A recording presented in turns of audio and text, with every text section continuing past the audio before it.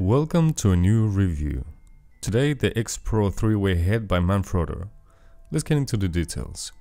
It weighs almost a kilogram. It's made of reinforced aluminum, it carries up to 8 kilograms of weight, and it has a 10 year warranty.